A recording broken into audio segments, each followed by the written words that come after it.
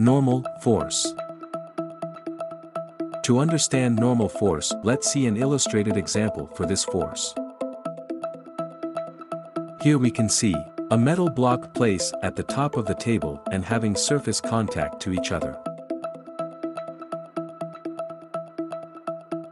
Due to gravity, weight of the metal block, acting downwards. As we know, weight is also a kind of force, represented by mg. Now, according to Newton's third law, there will be an equal and opposite reaction, acting perpendicular to the surface of the contact.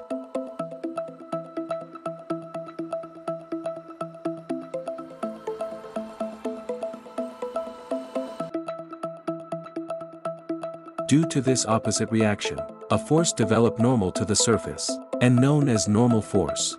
This normal force remain until metal block in contact with table. In this situation, both weight and normal force are equal and opposite, but not in all cases. Let consider another situation. Here, metal block is placed at inclined surface.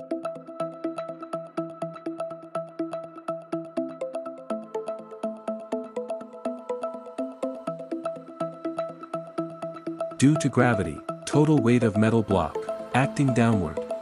As the surface is inclined, weight mg, having two rectangular component. mg cos alpha, and mg sine alpha. Where alpha is angle of inclination of the surface. Now, the force develop perpendicular to the surface of contact and opposite to the mg cos alpha. And this perpendicular force will be the normal force.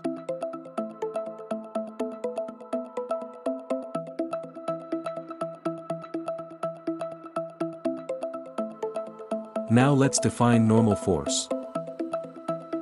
Normal force is the component of a contact force that is perpendicular to the surface that an object contacts.